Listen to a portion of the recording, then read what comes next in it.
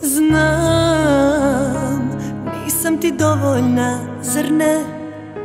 Ležiš pored mene, ko na drugoj strani ulice. I dobro znam, da od pakla pravim dobar dan. Pa i svaki drugi ludak misli da je normalan a ja propadam sa stilom Ručam vino sa tekilom Taman sećanja dolete Pa za dezert dve tablete. O, A nisi me još prošao Zato dobro mi došao. U ovu našu kuću strave Gde sam umrla za tobom A čekam da mi jave. Idi gde si pošao A onda dobro gosta U koji dođeš kad ti dosta Da pokupiš to što osta. Dobro došao Kad god došao.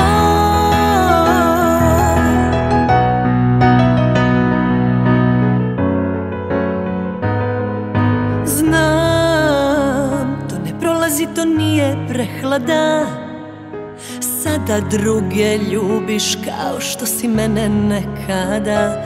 I dobro znam, ne dobije se uvek koliko daš. Držiš se, al padneš uvek kada dole pogledaš. A ja propadam sa stilom, ručam vino sa tekilom. Taman sećanja dolete, pa za dezert dve tablete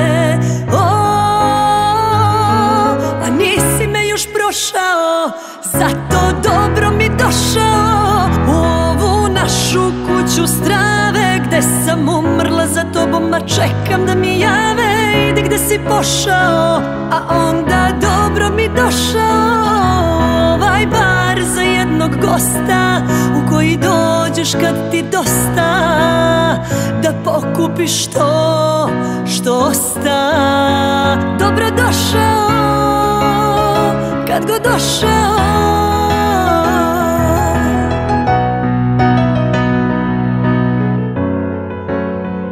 dobro došao. Kad god došao